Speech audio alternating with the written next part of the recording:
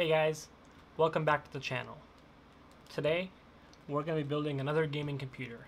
One of my really good friends texted me saying, hey, should I buy this computer from Best Buy? After taking a look at the specs of that computer, I, I guaranteed him that I could build a better one for the same price. Let's get started.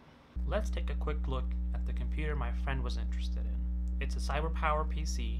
The hardware in this unit is pretty standard for what you'd expect for a PC in this price point.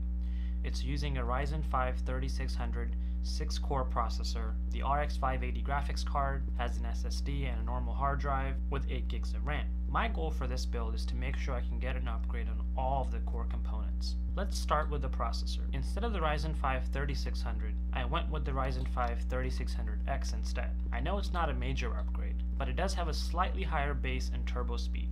The difference is probably marginal, but I wanted to upgrade all the parts if I could. Installing the processor is easier than it looks. Just make sure to have the socket prepped by unlocking the lever and raising it. On your processor there should be a golden arrow on one of the sides and a matching arrow can be found on your motherboard as well. Just line them up and let the processor drop into place. Don't use any force and remember to hold the processor from its sides only so you don't accidentally damage the pins on the back. Once the processor has dropped into place, you can just lock the lever, securing it into place. For the cooler, I kept it simple, and used the heatsink that came with the processor. My friend won't be overclocking or doing anything crazy on this computer, so it should be good enough, and I can use the few dollars that I saved on a different component. The heatsink is also fairly easy to install. First, we remove the four screws holding the two brackets. Next, just line up the four screws on the bottom of the heatsink with the board and tighten them up until fully locked. The thermal paste is pre-applied, so if you're a first-time builder or just aren't comfortable applying your own, you don't have to worry about it. I like to tighten the screws halfway on the first pass and going around diagonally until they're all in place. Then I just tighten all of them in. Now that the CPU and the heatsink are on, we can move on to the memory. Remember the pre-built computer was using only 8 gigs of memory. I decided to step that up to 16 gigs because that's the new minimum standard for any premium PC, or at least it should be. I picked up the G.Skill Ripjaws because it was a great deal, and if you haven't noticed yet, the theme for this PC is black and red. Installing the memory is probably the easiest and the most satisfying part of the build. Similar to the processor, just make sure you have prepped your board by setting the notch in the open position. Keep in mind, some boards only one side needs to be unlocked.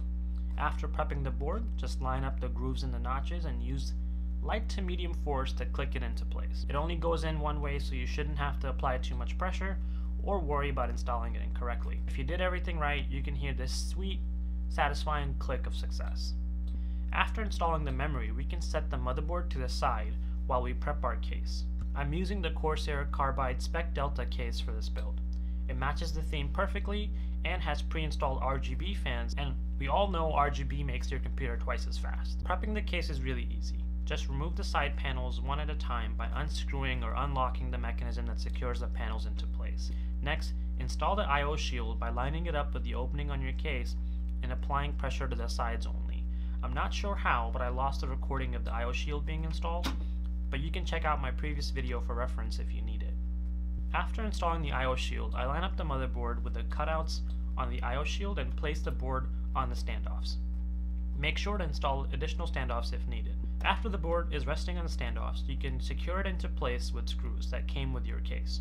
Most cases leave screws and manuals in the hard drive bay, so that's the first place I look. And I always give the board a gentle lift after screwing it into place to make sure it's properly secured.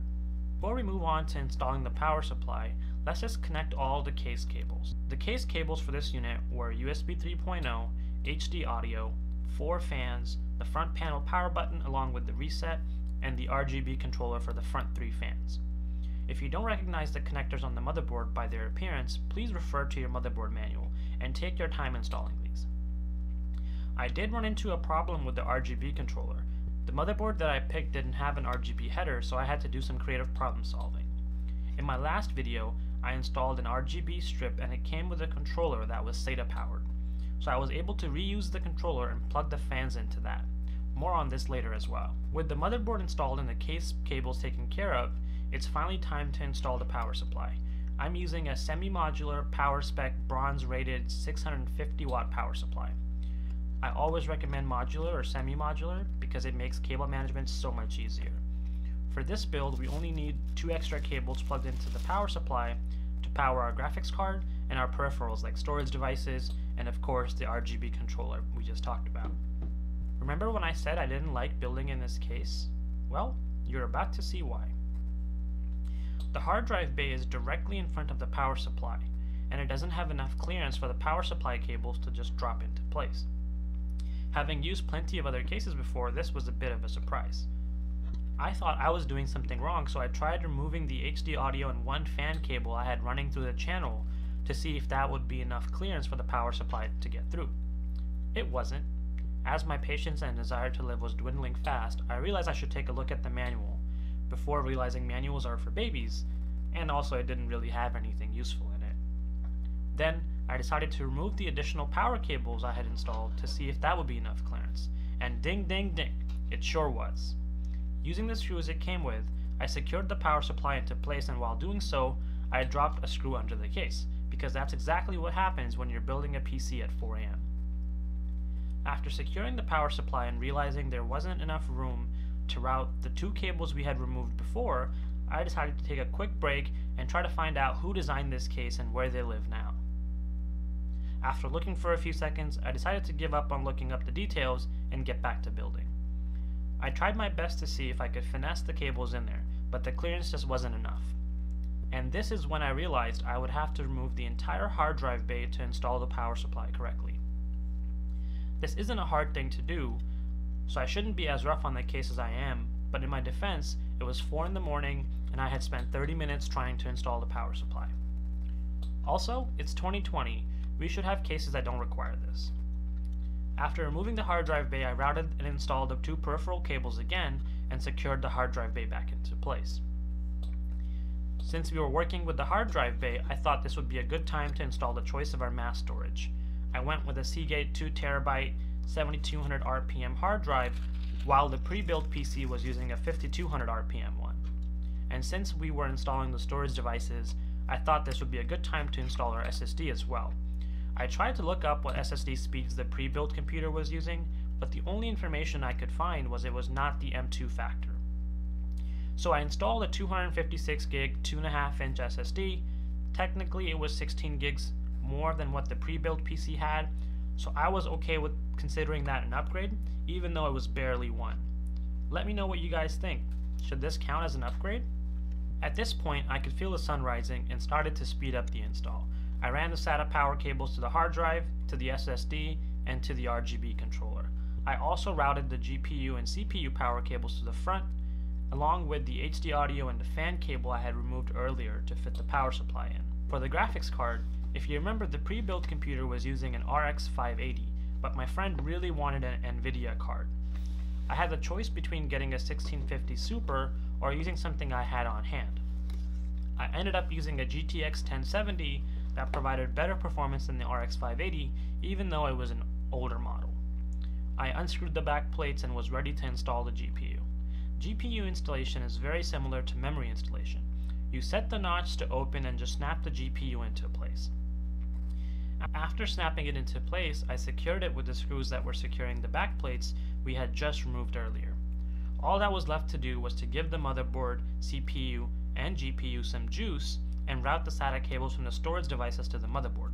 Any hope I had of sleeping was quickly gone because I realized the SATA connectors were right under the GPU. So I removed the GPU to install the SATA cables and then put the GPU back in. At this point, even my cat was worried about me and decided to walk by to make sure I was doing okay. And that was it. Everything was done. Just a little bit more cable management on the back, and I closed up the panels we had removed earlier Of course, I thought I was done, but I knew that you guys would want to see the plastic being removed, and it required the screws holding the panel to come off again. So to give you guys what you want, I had to remove the screws and hold the panel so it wouldn't fall off. If you want to thank me for the extra effort, you can like the video and subscribe to my channel. It also enters you into a chance to win the $600 gaming PC I built in my last video. Overall, the moral of the story is, never build your friends a computer the giveaway that I'm doing is self-sponsored, so I'm paying for it. If you if you like my content, if you like my videos, please consider subscribing and liking the videos. I'm trying to grow the channel, and uh, hopefully we can attract some sponsors, and, and hopefully we'll have more cool stuff to give away in the future. Thanks so much. See you around. Before we end the video, I wanted to let you guys know I'm giving away the computer that I built in my last video. I'll link it up there, and it'll be in the description below as well.